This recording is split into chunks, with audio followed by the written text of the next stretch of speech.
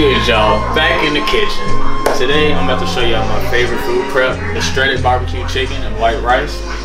I'm gonna show y'all all you need is a crock pot and some time. Let you see what it looks like. Some kind of good. Remember to clean y'all chicken, man. I already told y'all.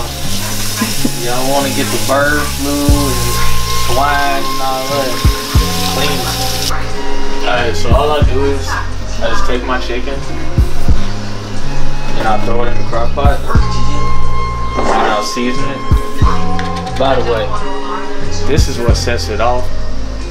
You'll see after it's done cooking. What is that? I ain't getting sponsored from this. that is uh, Stubbs barbecue dry rub. Tell y'all, man. Like, show them this. Show them the color. Oh yeah, that's gonna be real good. Put that on there. Then I add some pepper and some uh, Mrs. Dash salt free. And then I'll just turn it over and I'll season the other side. The reason why I really like making this meal when I food prep because it's super easy. When you're cooking in a crock pot, it takes hours to cook. So if you got things to do throughout the day, you know, you can just throw it in there and go handle your business. You can throw it on low for eight hours, or you can throw it on high for four. For the sake of the video, things I gotta do today, I'm gonna cook it on high. Alright, so now that the chicken is seasoned, it's time for my favorite part. Throw some barbecue sauce on there. A lot of people Don't know nothing about him. a lot of people that uh, do a diet are afraid to use barbecue sauce. They say it has a lot of sugar. But honestly, I really wouldn't worry about it because you're not going to get that much barbecue sauce when it cooks through because most of it be in the pot. But nobody wants boring, bland chicken all the time. Like you have to have some flavor. If you're going to stick to a diet, you got to eat things that you enjoy. So all I'm doing is I'm pretty much going to dump this whole thing in there like drown your chicken. Alright. All I gotta do is put it on high wait for four hours. That's it. Usually I use a rice cooker, but I don't have it here today. So I'm going with the Uncle Ben's to save some time. All you gotta do is fill up a pot with some water and then submerge your bags and it'll be done in about 10 minutes. Mm-hmm. We're going about four and a half hours. That ain't four and a half. it's have to be right at four. Cameraman. You messed with it already. Alright, y'all. Rice is done. My chicken's done. Plate this, and then I'm gonna show y'all what this chicken looks like. Mm-hmm. This is a simple, easy meal. It's low calories. It tastes great. It's really easy to prep. I mean, I've been eating this for almost about a year now. I've been making this recipe, and I'm not tired of it yet. Because simply, like I said, it's really easy to make, and it tastes great.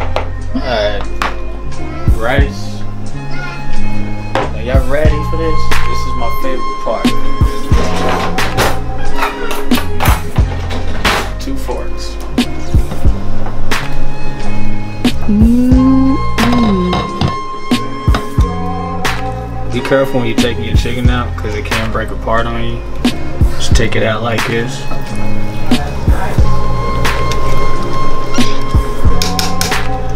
I would go ahead and start shredding it right here.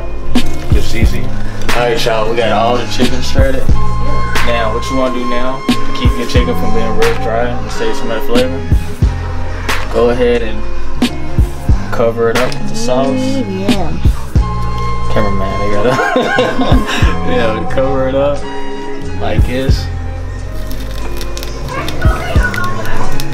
Yeah, just like that. I wish I could smell it. Ain't ready for all this deliciousness. They ain't ready. Yeah, just mix it up.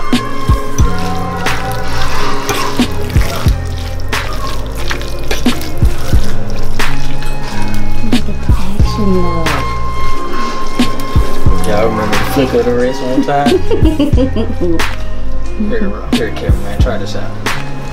Ooh. ready? Are? Remember, paper plate. Anybody trying to do the dishes? I can see it.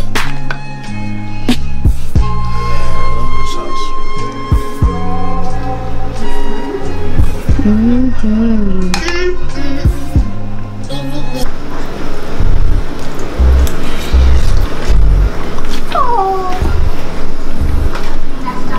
Telling y'all, it's like you're not even on a diet.